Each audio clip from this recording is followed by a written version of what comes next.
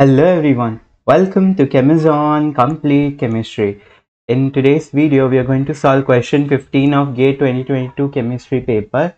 This is based on a photochemical reaction that is called as di-pi-methane rearrangement. Now why this is called as di-pi-methane rearrangement? Because di means 2, pi means there are two pi bonds and methane means both the pi bonds are separated by a sp3 hybridized carbon having that is only one carbon okay this carbon is attached to two methyl groups. That is only one carbon is in between the two double bonds. That is why this is called as di-pi-methane rearrangement. Okay what is the trick for identifying any photochemical reaction? We know it, it occurs in presence of light. Okay whenever you see h nu or light you first check for pericyclic reaction and you can also check for photochemical reaction if that is possible or not. Okay, so this is the reactant that is given. So what is the first step in this reaction? Both the pi bonds will break homolytically. Okay, in photochemical reaction, what takes place? Homolytic fission. Okay, what is the meaning of homolytic fission? Homo means same. That is both the atoms, let's say A and B are forming the bond. So when this bond breaks, both the atoms will get one one electron each. That is we get the formation of free radical. That is the mechanism. Here it is going to be what? It is going to be free radical mechanism. Okay so first step is breaking of both the pi bonds. And what we will get? Formation of a diradical. Okay here there is one radical. Radical and here there is one radical and here there is one radical. Okay we have ph ph ar ar okay now these two electrons will form a cyclopropane ring. Okay cyclopropane ring is formed. Okay, a cyclopropane ring is formed like this. pH pH here there is one electron and then there is AR AR and here there is one electron.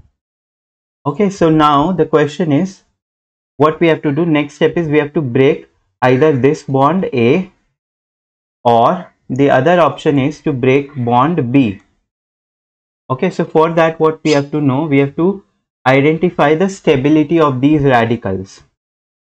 Okay which is going to be more stable the radical that is more stable will be less reactive.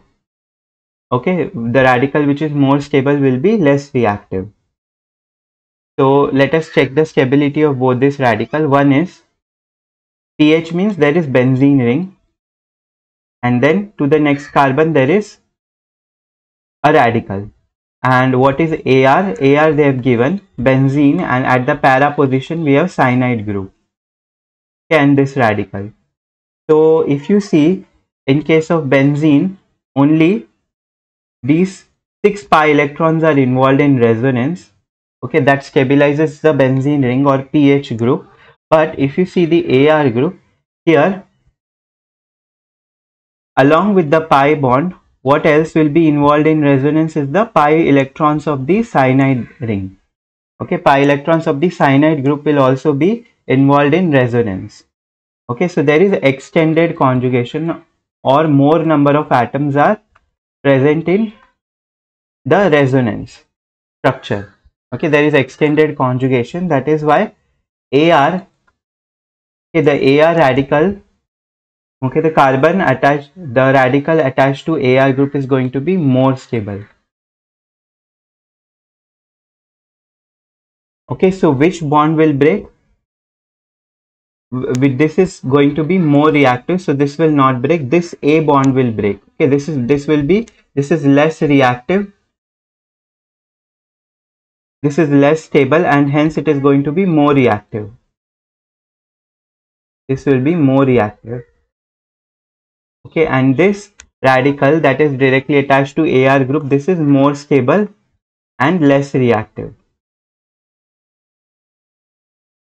okay so b double b bond will not break. Which will break? A bond will break. Okay so what do we get is here there is pH pH and there is here there is one electron and one electron. Then this bond remains as it is. And then there is this radical here okay, then there are two groups AR AR here there is one radical.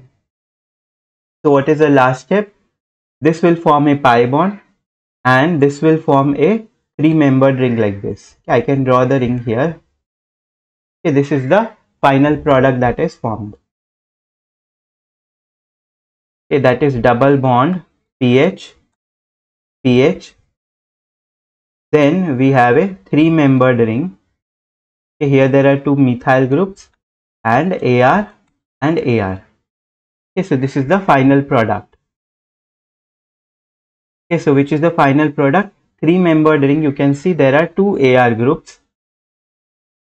Okay, three membered ring. There are two AR groups and then there is okay three membered ring, two AR, two methyl groups and double bond across double bond there are two phenyl groups ARPH this is incorrect this is also incorrect.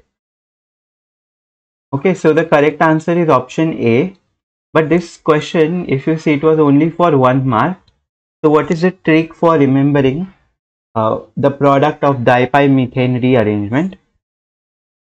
The group that forms the stable radical. Okay the group that forms